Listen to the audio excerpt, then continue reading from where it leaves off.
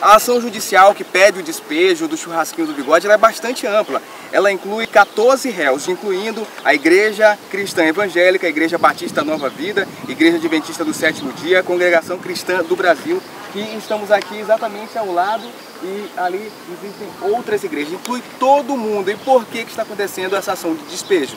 Porque eles estão numa área, numa área que é uma área pública, uma área municipal, institucional uh, da prefeitura. E o Ministério Público só entrou com essa ação porque a prefeitura, porque o prefeito Josimar não estava cuidando dessa área.